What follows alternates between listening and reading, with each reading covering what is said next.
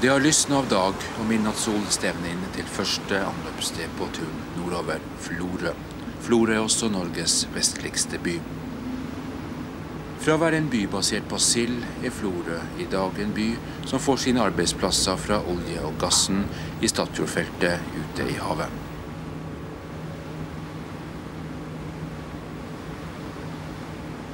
MS Midnattssol har ti hurtigrutekolleger som også går nord og sør langs kysten.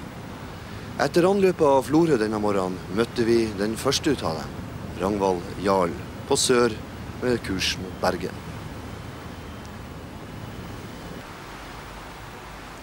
Like før anløpet av Måløy om morgenen passerte vi Hornelen. Nord-Europas høyeste sjøklippe, 860 meter over havet.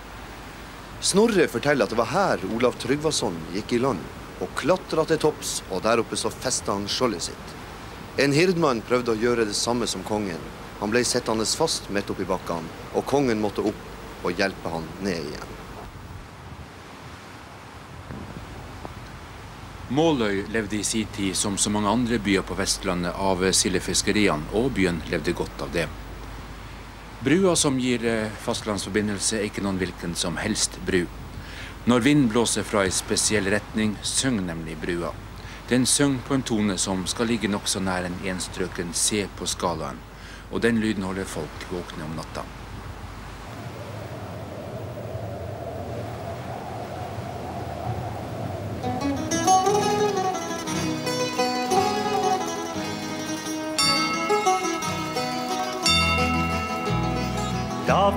Ved Island, regnvær og blest. Kommer i jagande kast fra nordvest. Vestlandets værgud sitt standpunkt har tatt. Det er full storm ved Stad. Full storm ved Stad. Kuling fra Hordaland, Bergen og Sogn. Innifra hav kjem silda med rogn. Gyter i fred, ikke et gann kan bli satt. Det er full storm ved Stad. Full storm ved Stad. Rutebåtskipper med ansvar for liv. Speider mot jagande reinskyer striv. Havna i Måløy blir tryggast i natt. Det er full storm ved Stad. Full Stad. Ned til sitt naust går ein fiskar på Møre. Ser til sin båt, men kan ingenting føre. Banner mot vest og slår naustdøra att. Full storm ved Stad.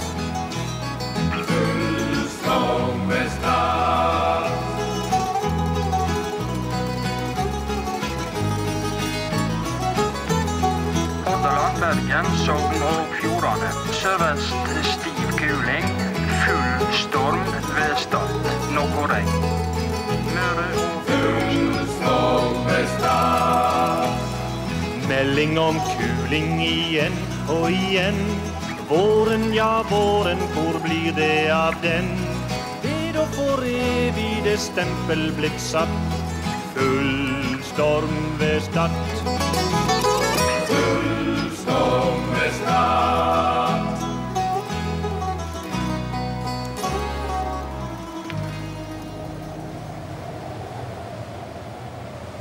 Om ikke nettopp full storm, så kanskje blåste det en svak bris da vi passerte det vestligste punktet på reisa. Fjellet som heter Kjerringa, som ligger ytterst ute på Stadlandet.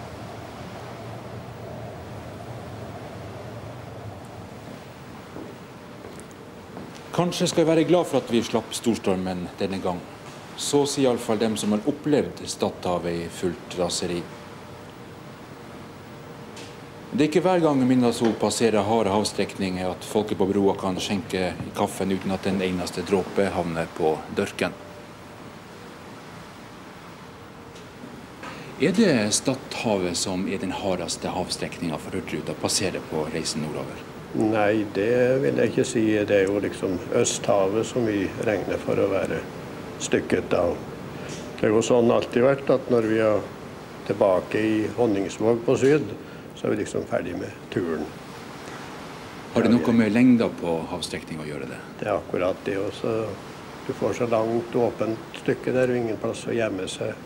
Sånn som det er på de kortere Folda og Hustadvika. Sånn. Det står jo ikke på så lang tid. Vi har forlatt Stadhavet, og de naturlige kulissene skifter.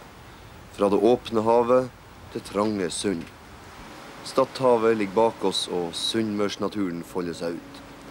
Torvik er et av de minste anløpsstedene langs Hurtigruteleia, og det siste før Ålesund.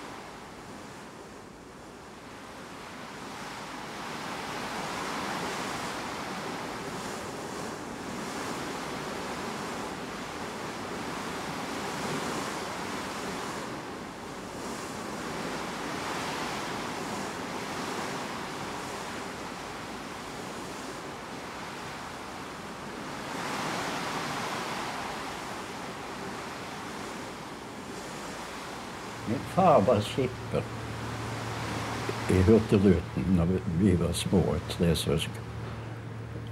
Så kanskje det kom ut av det. Da Hurtigruten Narvik kom til Bergen i dag, markerte dette en helt spesiell begivenhet. Om bord var pensjonisten Finn Vennberg. Og dette var hans tur nummer 100 som passasjer på Hurtigruten. Den spreke 84-åringen tilbringer mesteparten av vinterhalvåret om bord på Hurtigruten. Jeg har vært en gang fem turer i et sleng. Men uh, nå, jeg, nå har jeg vært med to turer. Så går jeg om bord den 15. oktober. Skal være jul og nyttår. Om jeg blir der til over påske, det vet jeg ikke. Det er et eh, innslag som vi ser frem til hvert år når han kommer om høsten. Og så er han med dere utover vinteren? Ja, han er med oss eh, jevnlig. Han har sine turer om bord, og så har han sine friturer. Slik at eh, han går nærmest eh, som oss andre vakt. Så du kommer til å fortsette nå i årene? Ja, så lenge helsen holder, så. At det ikke ligger noen til last. Og hytten hadde gått bra. Litt svimmel og sånt. Spiser lite. Og, og prater lite. Kanskje begynte å bli litt senil. Det, det skal vi jo med tiden, alle sammen. Men jeg har ikke fått noen bebreidelse om det.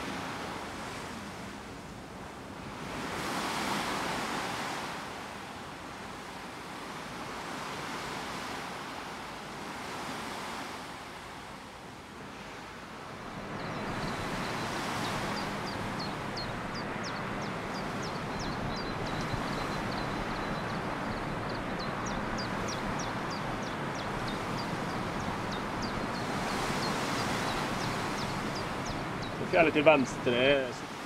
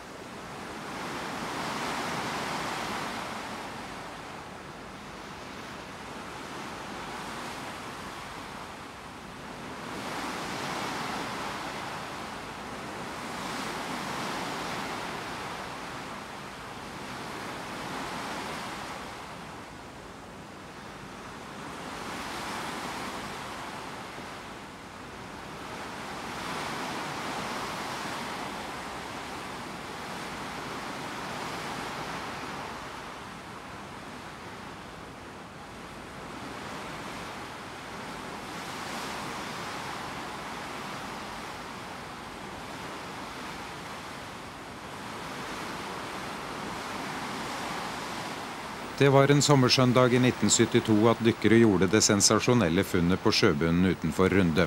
Funnet stammet fra den hollandske Ost-India-fareren Akker Endam, som hadde forlist med en stor pengelast 250 år tidligere. Det ble strid om skatten, og en del kom på avveie. Men det endte med at de tre dykkerne til sammen fikk 75% den norske staten 15% og Nederland fikk 10% Denne mynten som ligger her, det er en dukaton fra 1649. Og nå er altså hele den nederlandske samlingen på 4000 mynter til stor forbauselse tilbake i Norge. Den norske staten innrømmet nemlig aldri Nederland noen rettigheter til myntskatten, men ga likevel fra seg 10% som en gest. Ved Myntkabinettet i Oslo synes man det er merkelig at nederlenderne nå selger denne gaven, men er likevel glad for at den i hvert fall kommer tilbake til Norge. Og mannen som i konkurranse med amerikanske og engelske interesser fikk dukater, dukatoner, realer og dobbeltstubere tilbake til Norge, var mynthandler Jan Olav Omlid. Omkring to millioner kroner måtte han ut med, og etter at hjemkjøpet ble kjent, har ikke telefonen stått i dag. Oslo-mynthandelen? Ja, vi har nettopp fått kjøpt en del fra, eh, fra Nederland. Skal jeg ta imot en bestilling? Da skal jeg legge til side, jeg. Tusen takk. Mm. Du kan garantere at dette er ekte rundepenger? Ja, den nederlandske staten garanterer det. Og jeg har sett så mye rundemynter, så jeg er 100% sikker på at dette er ekte rundemynter.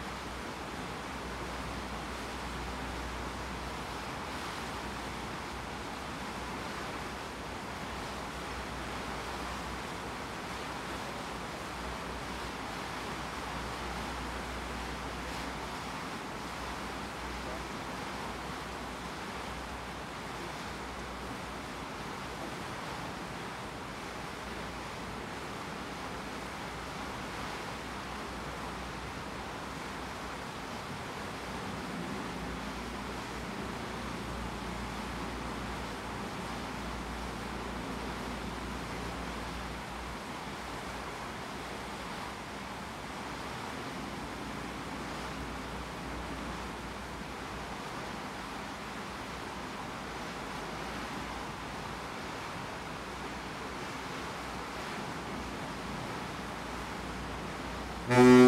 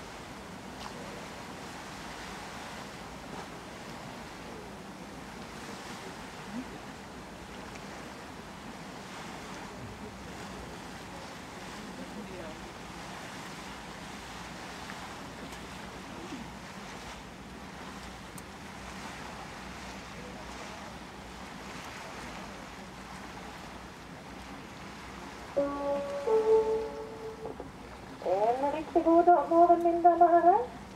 MS Nord-Norge anløper nå Ålesund. Avgang blir klokken 9.30. Vi er oppmerksom på at alle som skal på land, må ha reisebeviset klart og skannes til land på gangveien. På vegne av kaptein Johannessen og hans besetning vil vi takke våre avstigne passasjerer for turen. Vi har fått en fin reise med oss, og ønsker velkommen igjen en annen gang. Ladies and gentlemen, MS Nord-Norge is now calling at Ålesund. Departure is at 9.30. We kindly ask all our passengers going ashore to hold their board card ready to scan out at the gangway. On behalf of Captain Johannessen and his crew, we would like to thank all disembarking passengers for traveling with us. We hope you have enjoyed your stay on board and wish you welcome back another time. Meine Damen und Herren, guten Morgen. MS Nord-Norge läuft jetzt Ålesund an. Abfahrt ist um 9.30 Uhr. Wir bitten unsere Passagiere beim Verlassen des Schiffes ihre Bordkarte bereits zu scannen an Land am Gangweg. Im Namen von Kapitän Johannessen und seiner Besatzung bedanken wir uns bei den aussteigenden Passagieren für die Reise. Wir hoffen, dass es Ihnen bei uns an Bord gefallen hat und dass wir,